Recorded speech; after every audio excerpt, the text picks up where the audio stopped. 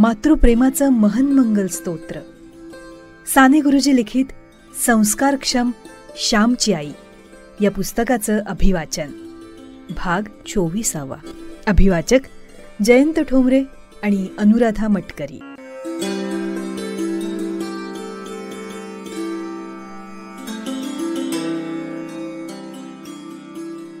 काय? सुरुवात करू ना गोविंदा? श्यामनं विचारलं. थोडा वेळ थांबावं. ते म्हातार बाबा अजून आलेले नाहीत. तुमच्या तोंडचा एक शब्दही गमावला तर त्यांना वाईट वाटते गोविंदा म्हणाला. इतके काय असे आहे माझ्याजवळ? साध्या गोष्टी मी सांगतो. वेडे आहेत लोक झाले श्याम म्हणाला. तुम्ही सांगता ते तुम्हाला चांगले वाटते म्हणून सांगता ना? का तुम्हाला ते टाकाऊ वाटते? स्वतःला टाकाऊ वाटत असूनही जर तुम्ही दुसऱ्याला सांगत असाल तर ते पाप केले असे होईल. ती फसवणूक होईल. आपणास जे त्याज्य आणि अयोग्य वाटते ते आपणास लोकांना कसे बरे देता येईल? भिकानं विचारलं. शिवाय लोकांची श्रद्धा असते तर ती का दुखवा? त्यांना तुमच्या ऐकण्यात आनंद वाटत असेल म्हणून ते येतात येण्यास उत्सुक असतात गोविंदा म्हणाला. हे पहा आलेच म्हातार बाबा. या इकडे बसा इकडे बसा राम म्हणाला. इकडेच बरा आहे. असा इथे बसतो. ते म्हातार बाबा म्हणाले श्याम कर सुरुवात आता. राजा म्हणाला सारी मंडळी उत्सुक झाली. श्यामची कथा सुरू झाली. त्याची हृदयंगम मुरली वाजू लागली.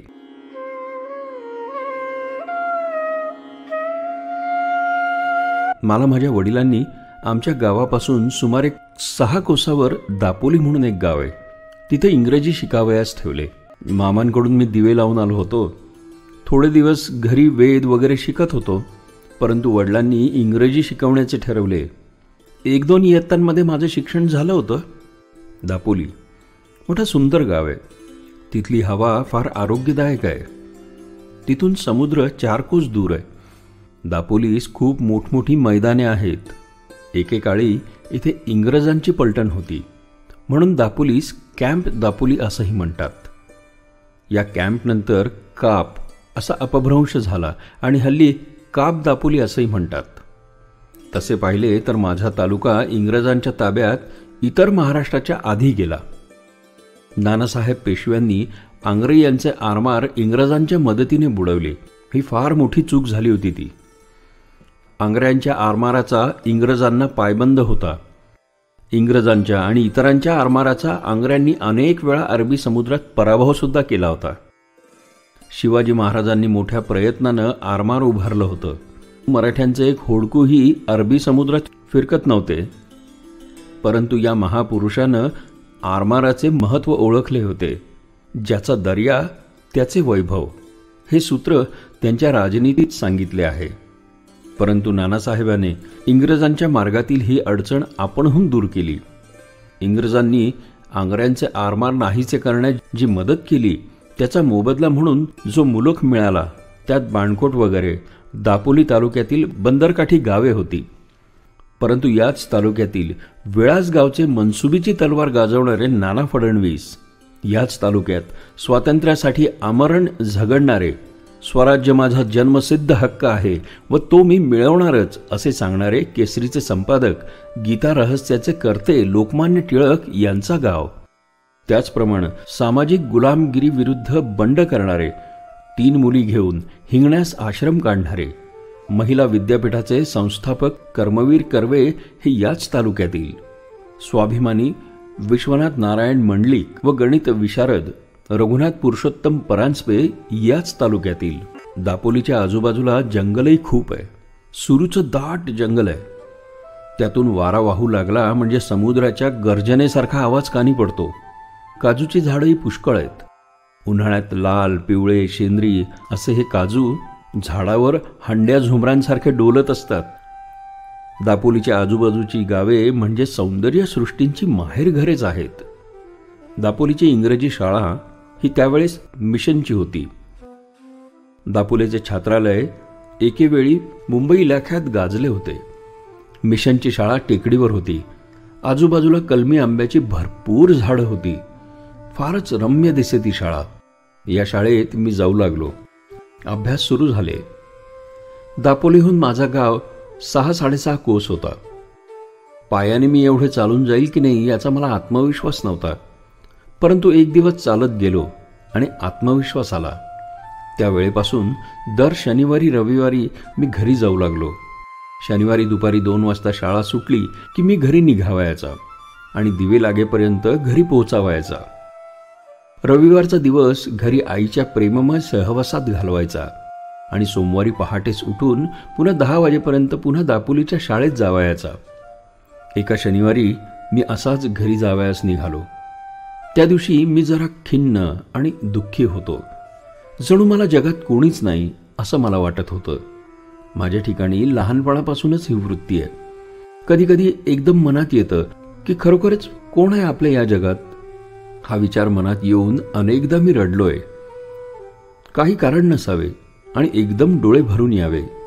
हृदय सद्गदित व्हावं असे अनुभव मला अनेक वेळा आलेत.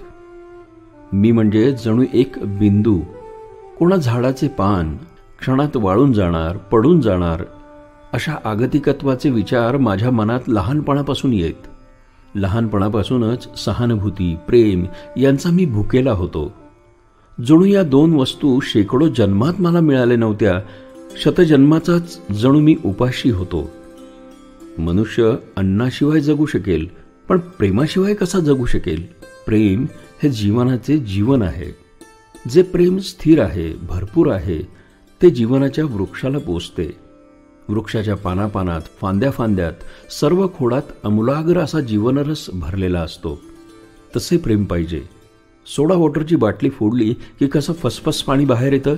असले क्षणभर उतू जाणारे परंतु दुसऱ्या क्षणी न दिसणारे प्रेम जीवनाला टवटवी सौंदर्य उल्हास देऊ शकत नाही.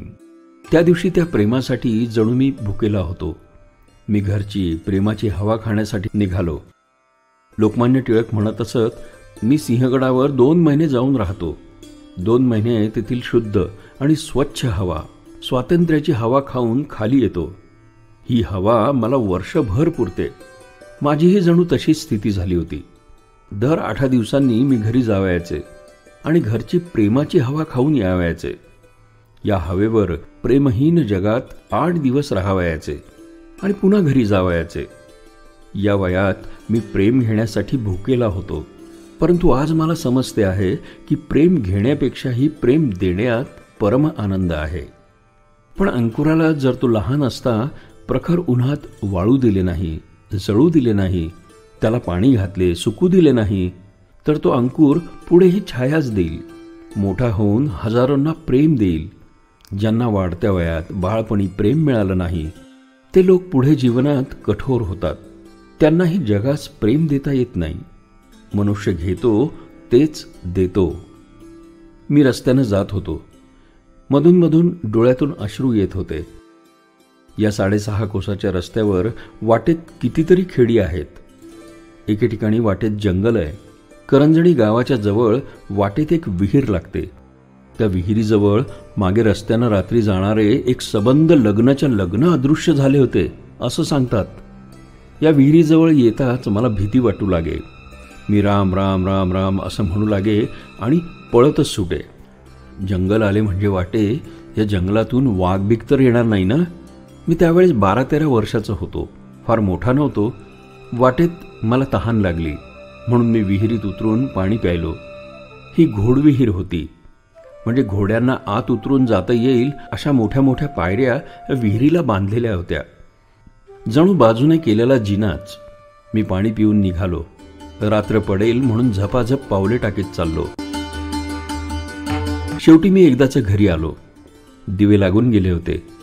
धाकटा भाऊ श्लोक वगैरे म्हणत होता. आई चूल पेटवत होती. आजी कोणाचा अंगारा मंत्रित होती. कोणाला दृष्ट लागली. तर या माझ्या आजीकडे अंगारा घेण्यासाठी लोक येत असत. ती आंब्याच्या पानावर थोडी राख घेऊन येई आणि मंत्र म्हणत आजी ती राख बोटांनी चोळीत असे. मग ती राख नेऊन ज्याच्यावर दृष्टी पडली असेल त्याच्या कपाळाला लावावयाची. मी अंगणात दिसताच अण्णा आला अण्णा आला असे धाकटे भाऊ आनंदानं जय जयकार करू लागले आणि मला बिलगले. मी घरात गेलो. आई म्हणाली उशिरा का निघालास? अरे जरा लवकर निघावं की नाही? बाहेर रात्र झाली आहे मी म्हणालो अगं माझ्याच्यानं चालवतच नव्हतं जणू गळून गेल्यासारखं वाटत होतं. मग कशाला बरं पायी आलास? पुढे संक्रांतीच यावयाचं आई म्हणाली आई मी तुला पाहण्यासाठी आलोय. तू माझ्याकडे प्रेमानं पाहिलंस की मला शक्ती येते. ही शक्ती घेऊन मी परत जाईन. असे म्हणून मी आईला बिलगलो आणि रडू लागलो. आईलाही रडू आलं आणि भावांनाही रडू आलं. आईने आपले डोळे पुसले. तिने आपल्या पदरानं माझेही डोळे पुसले. हे कढत पाणी घे आणि पाय धू. थांब थोडं तेल लावते हां? आणि मग वर कढत पाणी घे. असे म्हणून आईने माझ्या पायांना तेल चोळले. ती माझ्या पायांना तेल लावीत होती आणि मी तिच्याकडे पाहत होतो. मला त्यावेळेस किती आनंद होत होता. त्यावेळेच्या स्थितीस आनंद हा शब्द मी लावू इच्छित नाही. हा शब्द फार कमी पडतो. ती स्थिती अनिर्वचनीय होती पवित्र होती. मी पाय वगैरे धुतले आणि चुलीपाशी आईजवळ येऊन बसलो. अण्णा गोष्ट सांग नाहीतर एक नवीन श्लोक शिकव असे लहान भाऊ मला म्हणत होते. इतक्यात वडील बाहेरून आले. ते कुठून तरी त्रस्त होऊन आलेले होते. मला पाहून नेहमीप्रमाणे त्यांना आनंद झाला नाही. ते काहीच बोलले नाहीत. बाहेर पाय धुवून आले आणि संध्येला बसले. का रे? संध्या वगैरे झाली का तुझी? त्यांनी मला विचारलं. त्यावेळेस मी संध्या करीत असे. संध्येचा अर्थ मला समजत नसे तरी तंत्र करीत असे आणि तोंडाने पुटपुटत असे. नाही केली करतोय मी म्हटलं. तिथे चुलीजवळ काय बायकासारखा बसलायस? चल उठ संध्या वगैरे करायची ते रागानं बोलले. आई म्हणाली अहो आत्ताच तो आलाय. दमलाय. अगदी गळून गेल्यासारखं वाटतंय म्हणाला. बसलाय जरा. श्याम जा संध्या वगैरे कर. मी उठलो. पाटावर बसलो. भस्माचे बोट कपाळावर फासले आणि आचमने घेऊ लागलो. माझ्या डोळ्यातील पाण्यांची देवाला शतअर्घे सुटत होती. वडील पुन्हा म्हणाले तिकडे संध्या वगैरे करतोस की नाही? आणि हे काय? केवढं डोकं वाढलंय? हजाम मिळत नाही वाटतं. नुसता कावळा झाला आहे मी तिथे आलो तेव्हा बजावलं होतं की डोकं करून घे म्हणून. का केलं नाहीस? तुला शिंगे फुटायला लागली आहेत. उद्या सकाळी त्या गोंद्या न्हाव्याला नाहीतर त्या लख्या न्हाव्याला बोलवून आण आणि डोकं तासटून घे. नाहीतर इथे राहू नकोस निघून जा. मी प्रेमाचा भुकेला होऊन आलो होतो. मला शिव्या मिळाल्या. मला भाकर पाहिजे होती दगड मिळाले. मला माझा हुंका आवरेना. त्याचा स्फोट झाला. झाले का रडायला? कोणी मारले का तुला? सोंगे आणता येतात सारी वडील म्हणाले. हो पण करील उद्या डोके. तिथे पैसे द्यायला लागतात.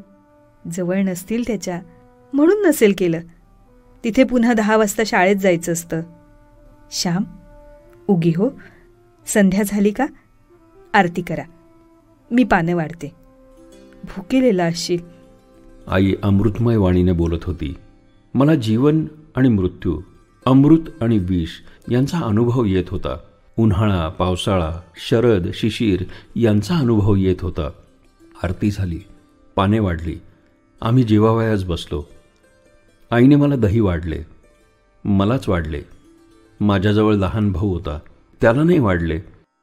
माझ्याकडे कोणाचं लक्ष नाही असं बघून माझ्या पानातील दही मी माझ्या लहान भावाच्या भातात घातले आणि त्याला भात कालवून दिला. ते दही त्याला देताना मला धन्यता वाटत होती. मी त्या दिवशी अगदी हळुवार मनाचं झालो होतो. त्यावेळेस माझ्या शरीरास कुठेही बोट लावले असते तर टचकन पाणीच बाहेर आले असते. जणू अश्रुमय मी बनलो होतो. आसवांची मूर्ती झालो होतो. माझ्या भावास मी मोठा झाल्यावर पैसे दिले असतील परंतु त्या रात्री जे दही दिलं त्याची जी गोडी होती जी सहृदयता होती ती पैशा अडक्यात नव्हती.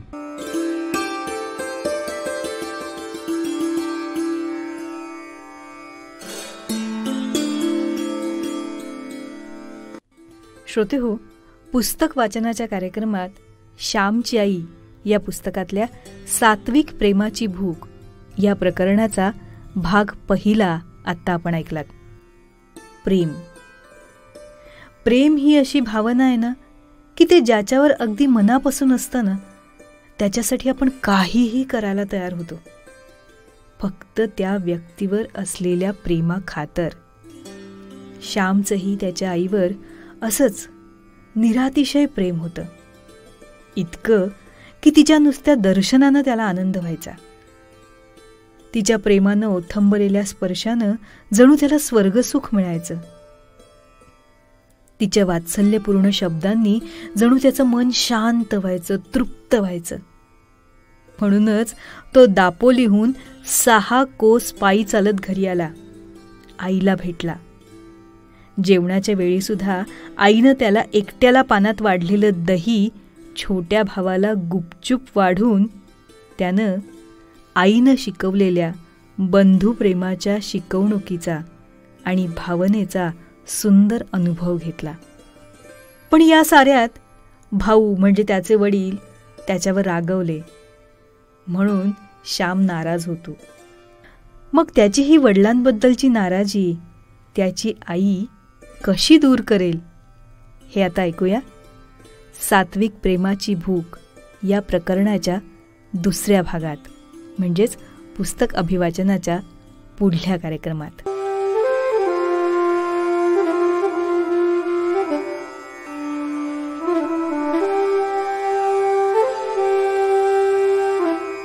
ऐकायला विसरू नका. साने गुरुजी लिखित श्यामची आई या पुस्तकाचं अभिवाचन रेडिओ जयंतवर. साने गुरुजी लिखित श्यामची आई या पुस्तकातील संस्कार प्रत्येक घरासाठी घरातल्या प्रत्येकासाठी. आम्ही घेऊन आलो आहोत रेडिओ जयंतच्या माध्यमातून आपल्यापर्यंत. तेव्हा रेडिओ जयंत सबस्क्राईब करा आणि हो नोटिफिकेशनसाठी बेल आयकॉनवर क्लिक करा. आणि कार्यक्रमांविषयी आपल्या कमेंट्स कमेंट्स बॉक्समध्ये नक्की लिहा.